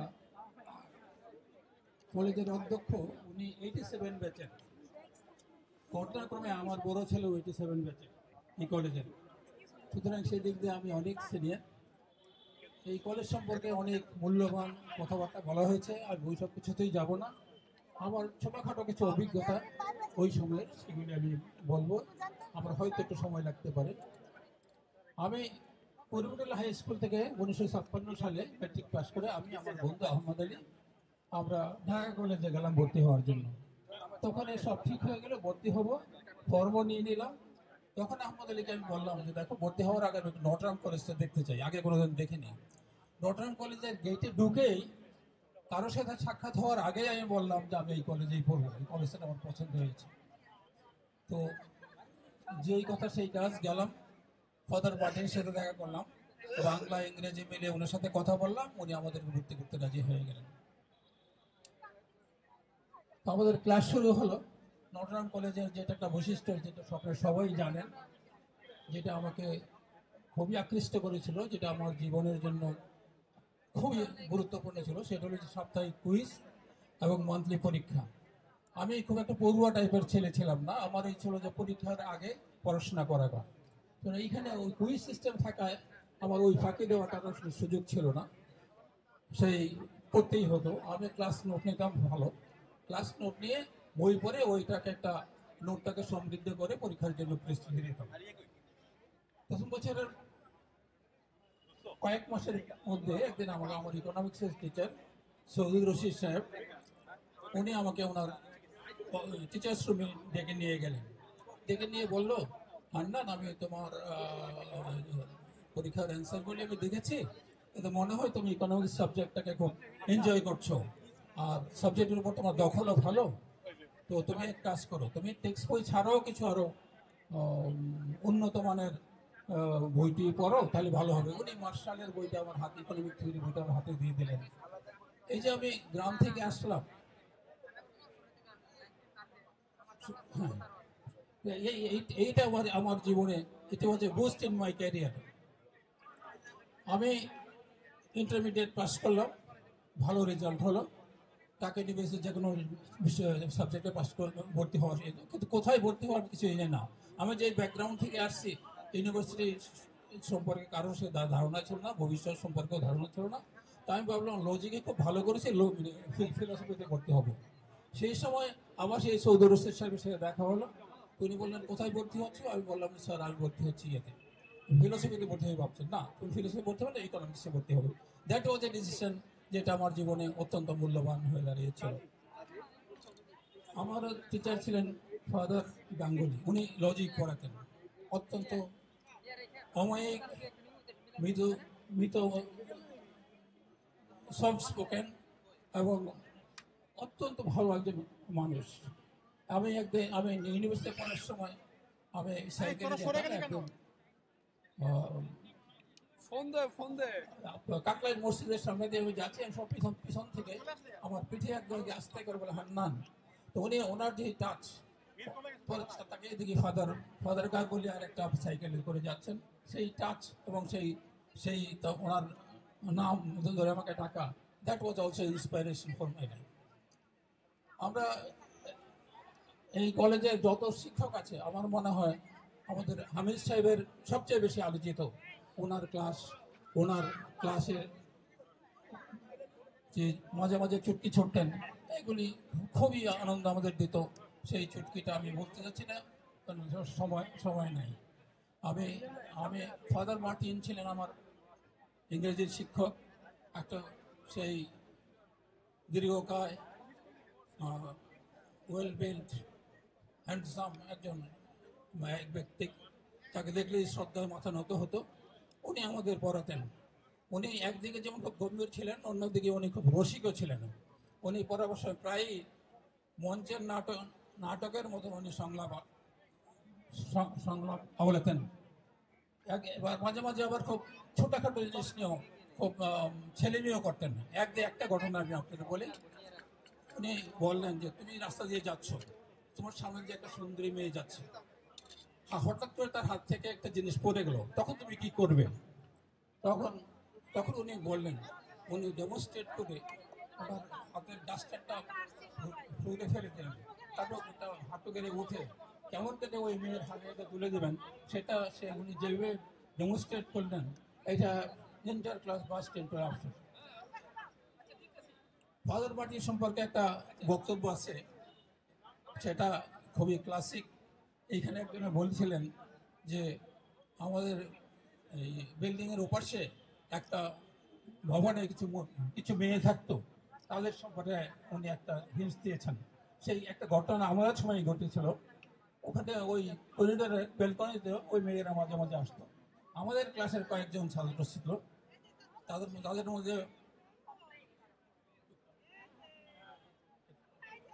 তাদের মধ্যে ছিল খুব হাই অফিসিয়ালের ছেলে এবং সেই খুবই স্মার্ট ওর নেতৃত্বে ওই মেয়েদেরকে মাঝে মাঝেই টিস করা হতো। একদিন সে মেয়েদের বাবা আস- আসলেন প্রিন্সিপাল সাহেব ফাদার ফাদার মার্টিনের কাছে কমপ্লেন নিয়ে। কমপ্লেনের পরে উনি শুনলেন, তারপর উনি যে বক্তব্যটা বললেন it has some element of but আপনারা don't take it in that speed take in the speed in the side সেটা হলো যে you can't control one cow how can I can control hundred bulls এই কথাটা এখনও আমাদের, আমরা যখন আমার প্রাক্তন ছাত্র আমরা একটা বসি, আলো- আলোচনা করি। আমি একটা পার্সোনাল নোট দিয়ে শেষ করব। আমার বড় ছেলে যেটা আমি বলেছিলাম, ও তানবির হান্না ফিফটি সেভেন ব্যাচের যেটা বর্তমান অধ্যক্ষের ব্যাচমেট ও আবার নটরাম কলেজ চেস অ্যাসোসিয়েশনের প্রেসিডেন্ট ছিল। আমার এক বছরের মেয়ে হোলি ক্রস আমার আমার ছোট মেয়ে হোলি ক্রসে ক্লাস ওয়ান ভর্তি হইতে গেল। সেখানে ইন্টারভিউতে তার বড় ভাই কি করে জিজ্ঞেস করল? বলল যে, আমার বড় ভাই he is a my brother is a president তো সেই তো তো আর বোঝে নাই প্রেসিডেন্ট মানে কি। যাই হোক, আমি এই কথা বলেই শেষ করছি। ধন্যবাদ। ধন্যবাদ স্যারকে। এই পর্বে আহ্বান করছি ফজলুর রহমান জামালি ওনার স্মৃতিচারণ করার জন্য।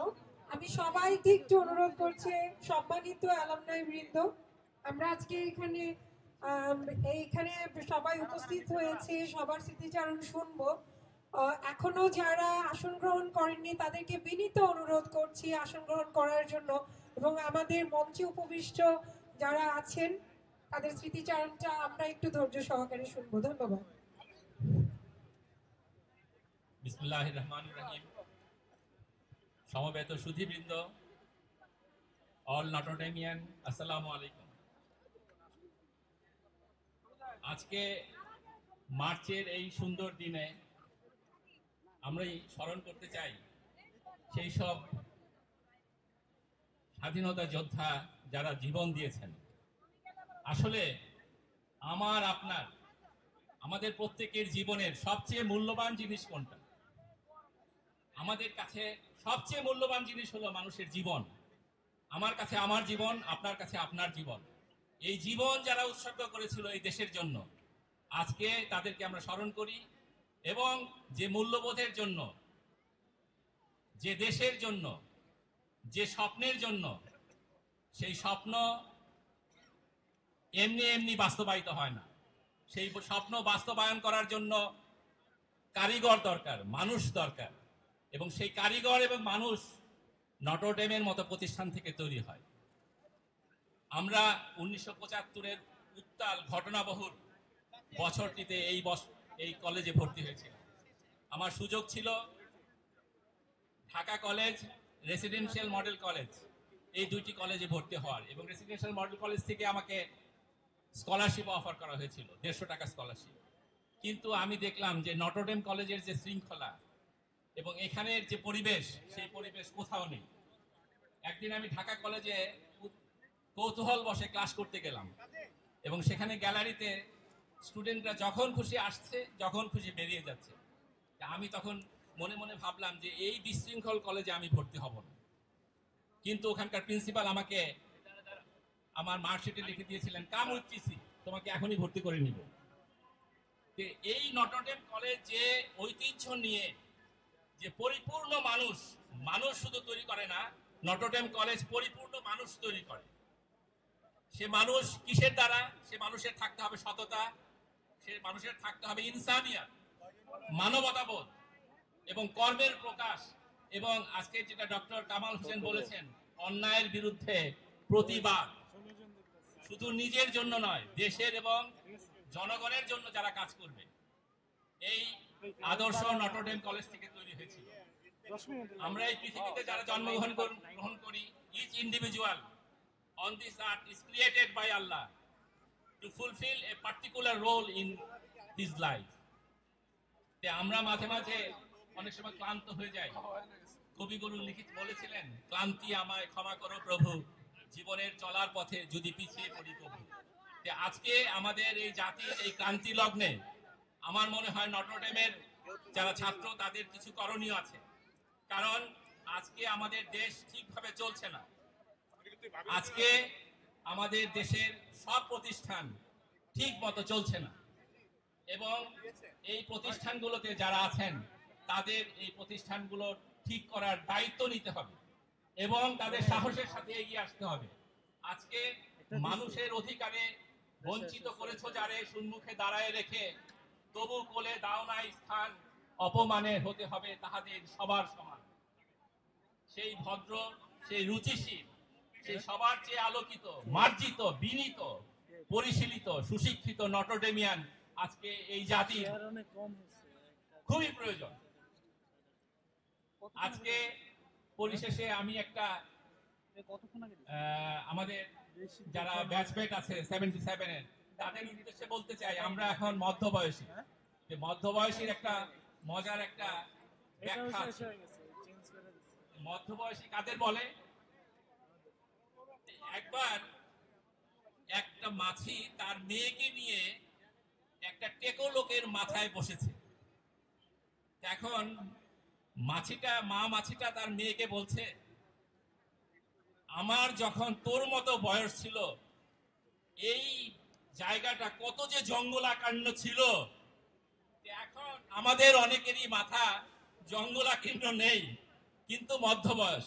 কিন্তু বন্ধুরা, আমরা যখন কলেজে আসি, বন্ধুদের সাথে মিলিত হই, আমরা তারুণ্যে উজ্জীবিত হই। অ্যারিস্টটল ওনাসিস যখন কেনেডির বিধবা পত্নীকে বিয়ে করেন, মিসেস কেনেডিকে, তখন তার বয়স ছিল সিক্সটি। তখন নিউ ইয়র্ক টাইমস এডিটোরিয়াল লিখলেন যে he is sixty looks like fifty acts like forty আমরা যারা এই কলেজের সেভেন্টি সেভেন ব্যাচের বা সমসাময়িক we are looks we are sixties look like fifties act like forty আমাদের এই জীবনে অনেক কিছু করার আছে, দেশের জন্য অনেক কিছু করার আছে। শেষে আমি বলতে চাই, the woods are lovely, dark and deep, but i have promises to keep. And miles to go before i sleep and miles to go before i sleep. Thank you. ধন্যবাদ স্যারকে। এই পর্বে আসছেন মেজর জেনারেল দেবাশিস সাহা। উনি seventy eight ব্যাচের ওনার স্মৃতিচারণ শুনব। আমরা আরেকবার অনুরোধ করছি স্মৃতিচারণটি তিন মিনিটের মধ্যে শেষ করার জন্য। আর আমাদের ইতিমধ্যে অনেকেই আছেন যারা স্মৃতিচারণ করার জন্য প্রস্তুত হয়ে আছেন। সকল নটোডেমিয়ানদের শুভেচ্ছা জানিয়ে আমি দুটো কথা বলব। সত্যি আমি কোনো প্রস্তুতি নিয়ে আসিনি এবং বেশি কথা বলার আসলে পরিবেশ এই মুহূর্তে নেই। আমি দু তিনটে কথা বলতে চাই, বিশেষ করে ফাদার পিসেটো, যিনি ওই সময় আমাদের প্রিন্সিপাল ছিলেন। ওনাকে দেখে আমি সত্যি মুগ্ধ হয়েছি। এখনও উনি এই বয়সেও, আমার মনে হয় সেই দিনের মতো তরুণ আছেন।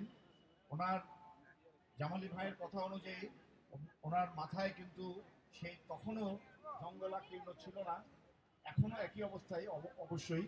কিন্তু তারপরেও তিনি চিরতরুণ শুধু মনে নয় আমার মনে হয় শরীরেও উনি সেই তারুণ্য ধরে রেখেছেন। এখানে আমাদের যে ক্লাস কুইজগুলো হতো কুইজ টেস্টগুলো হতো তার একটা মজার জিনিস বলি সবাই এটা পেয়েছেন।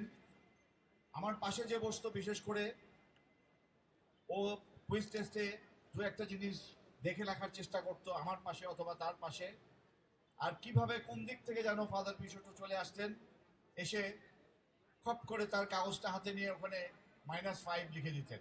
তো পঁচিশের পরীক্ষা মাইনাস ফাইভ হয়ে যেত এবং আমরা নামই দিয়েছিলাম ফাদার পিছটোর মাইনাস ফাইভ কারণ উনি আসলেই কাউকে না কাউকে ধরবেন। একটু ঘাটটা ঘোরালেই, একটু কথা বললেই মাইনাস ফাইভ দিয়ে দেবেন। আর কলেজে ভর্তি হওয়ার বিষয়টি যেটা, সেটা প্রায় সকলের কাছেই আমরা একই রকম শুনলাম। আমার অভিজ্ঞতাটাও তাই। আমি ঢাকার শহরের ছেলে, পুরনো ঢাকার ছেলে।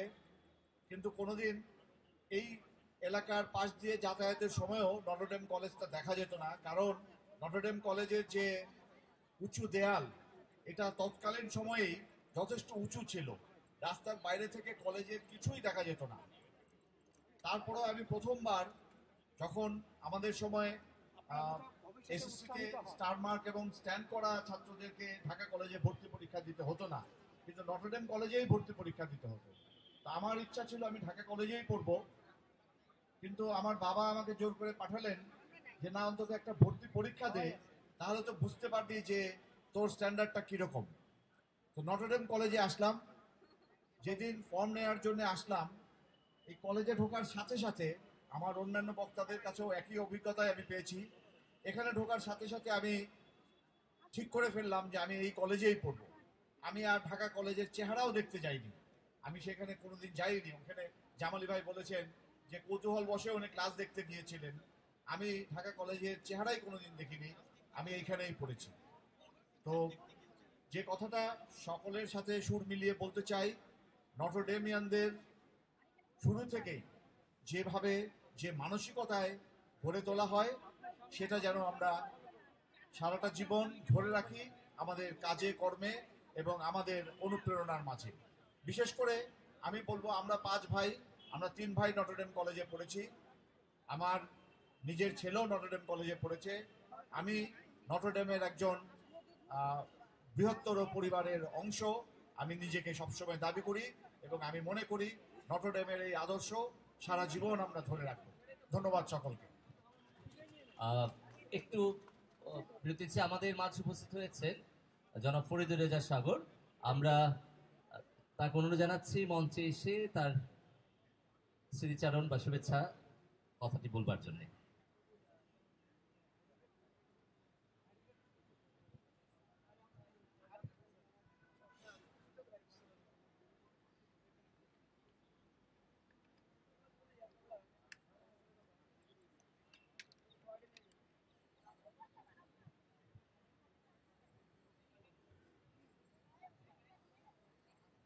আমি কলেজে আসলাম অনেক অনেক বছর পরে। কলেজের অনেক কিছু বদলে গেছে। আমাদের সময় যাচ্ছিল এবং সবচেয়ে নর্টন কলেজের ইতিহাসে সবচেয়ে খারাপ ব্যাচ, আমি জানি না আমাদের ব্যাচে আরও কেউ কথা বলেছেন কিনা। স্বাধীন হওয়ার পর প্রথম ব্যাচ, বাহাত্তর সালে। ওই জন্য হয়ে গেছে। জি। স্টাফ অনেকে রয়েছেন এখানে, এখন দেখতে পাচ্ছি এখান থেকে। এই কলেজ অনেক সুন্দর করে সাজানো ছিল। বাহাত্তর সালে আমরা কলেজের অনেক কিছু ভাঙচুর করেছিলাম। আবার অনেক কিছু তৈরিও করে দিয়েছিলাম। ফাদার পেশাদের কথা শুনছিলাম। ফাদার পেশাতে যেমন পাঁচ নম্বর কেটে দিতেন, তেমন আবার দিতেন অনেক। অনেক অনেক স্নেহ করতেন তিনি এবং সেই সময় যারা শিক্ষকরা ছিলেন, তারা সবাই অনেক, অনেকভাবে আমাদের অনেক কিছু শিখেছেন যে কারণে আজকে আমার মনে হয় যে আমাদের ব্যাচে যারা আছেন, প্রায় প্রত্যেককেই আমি এখন অনেকের সঙ্গে আমার দেখা হয় এবং প্রত্যেকেই আমরা একটা জিনিস শিখেছি, সেটা হলো প্রচণ্ড আত্মবিশ্বাস প্রচণ্ড শিক্ষার প্রতি ভালোবাসা, দেশের প্রতি ভালোবাসা, এই সব কিছু হয়েছে। আমার মনে হয় যে আমরা লন্ডন কলেজে পড়েছি বলে। আর আমার, আমি যে ব্যবসা করি তার অনেক পার্টনার আমরা প্রায় আটজন পার্টনার এবং আমরা সবাই লন্ডন কলেজ থেকে পাশ করেছি এক বছর আগে পরে। ফলে আমি এখনও কলেজের মধ্যেই রয়ে গেছি। অনেক ধন্যবাদ। ধন্যবাদ স্যারকে। এই পর্বে আমন্ত্রণ জানাচ্ছি মোহাম্মদ সাদাত হোসেন। উনি সিক্সটি ব্যাচের স্মৃতিচারণ করেন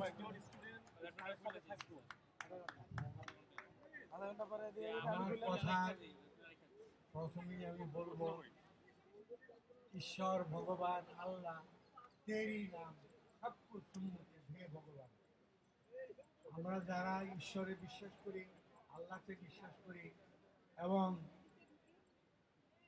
অন্য ধর্মাবলম্বী যারা ঈশ্বরে বিশ্বাস করেন, সবাইকে আল্লাহ মঙ্গল করুক।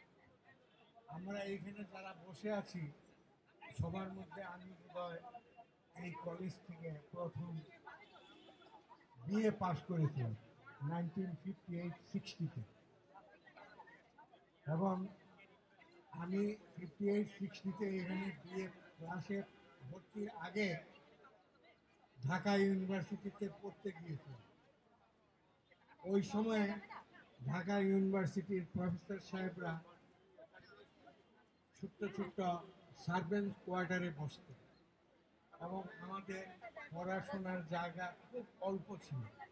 পরিবেশ ভালো লাগে নাই, তাই আমার বাবার সাথে ঝগড়া হলো। আমি বললাম যে আমি কলেজে আমার বাবা খুব